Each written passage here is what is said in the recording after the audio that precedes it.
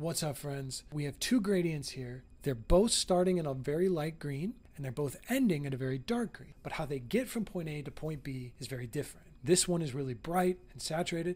This one is really dull. The way that you go from one color to another color happens through a color space. This top one is what we're most familiar with. This is the sRGB space.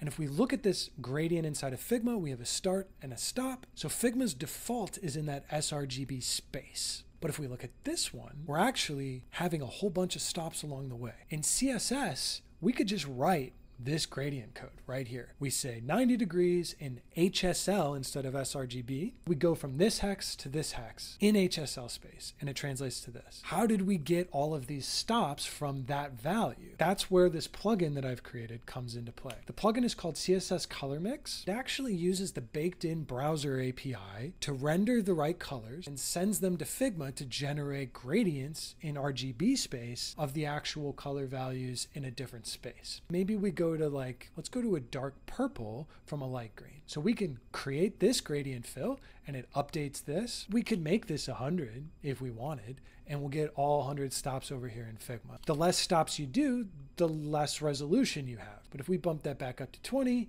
this is a little bit closer to what that gradient actually is when computed in CSS. We can do a lot more than gradients. We can go to a color fill. If we want to select a specific color along this route, this has now gone from linear gradient to color mix.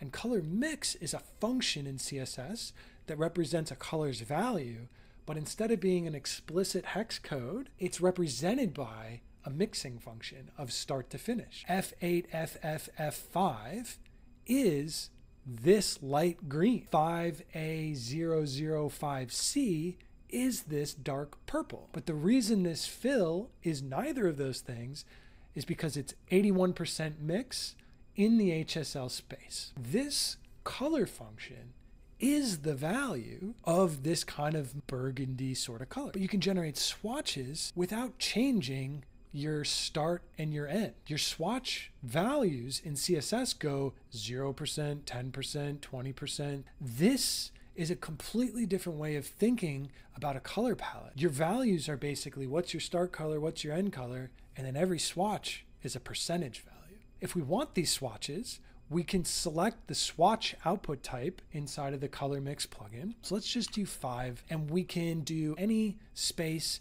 and we can see that as we change the space, the values of these colors change drastically. This is valid CSS for a color value. So we can use this CSS to represent these colors. If we wanted to just create some swatches, we can't. Their values are ultimately going to be hex codes, but their name is their color mix. We can also generate variables. I'm going to create these five variables in that variable collection. So we see we created five variables.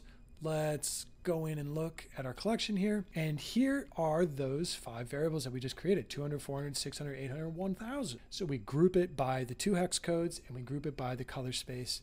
Uh, and then we get all the variables that we were looking for. The HSL space is really good for color ramps. So here we have from a, that light lime green to that dark green in the HSL space, and we have 10 tokens. One cool thing about variables in Figma is you can add descriptions. You can also add code syntax, which replaces what shows up in the CSS. And so in this case, I've replaced the CSS with the color mix function. So the plugin creates these variables with this being the syntax for the variable, which means when we inspect this node in dev mode, the CSS inside of Figma is going to be expressed as a color mix function. The progress that we've made when thinking about color on the web is just phenomenal. Um, and my hope is that a plugin like Color Mix uh, is going to allow folks to start using some of these principles inside of Figma and can help show us why it's really important to think of colors dynamically in this way. Uh, CSS Color Mix is available in the Figma community. Uh, it looks something like this.